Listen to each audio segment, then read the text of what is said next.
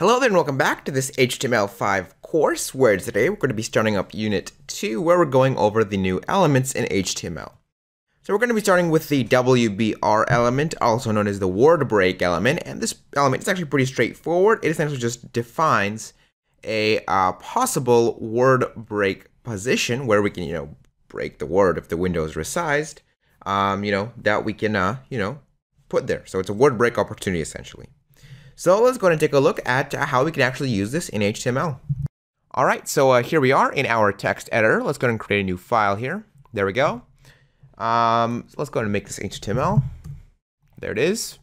And now let's go ahead and do HTML here. Uh, we let's do doc type. HTML. There we go. Let's do HTML.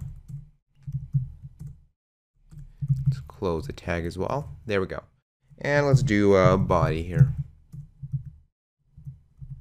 There it is. Okay, perfect. Now, inside here, let's go ahead and create a paragraph. Just some text. There we go. Hard to type with a microphone in the way. Okay, and then here let's just create like a like a like a word. I don't know, maybe a. This is a sentence. Sentence uh, with a, I don't know, word that is very long, uh, like this. Okay, and then let's add a quick style here. Style. Uh, style.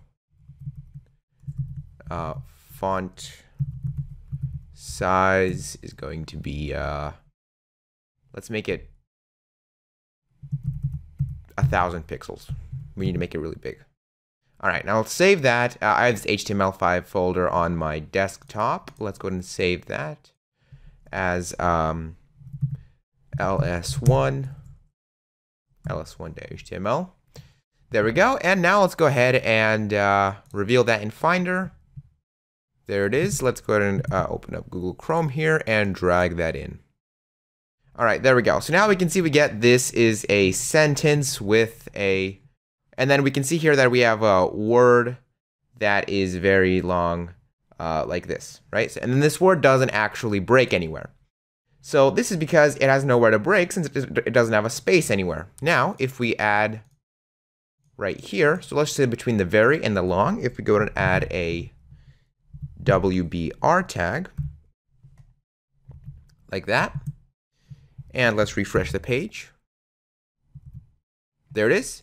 You can see now that we it changed a little bit and right here we can see word that is very and then it breaks and then long like this. There we go. So that's actually what the WBR tag does. It creates a word break opportunity. So if we have a very long word, we can insert that and then if the window is resized, it's going to go ahead and break them. Now it's important to understand this, that, that this isn't actually a break. If we set the font size to something normal, like maybe, I don't know, let's just do 20. And refresh. There we go. You can see that this is a sentence with a word that is very long like this, and it won't actually break. It'll only break if there isn't enough space on the page. There we go. You can see that now there's not enough space, and it goes ahead and breaks it at the place where we put the WBR.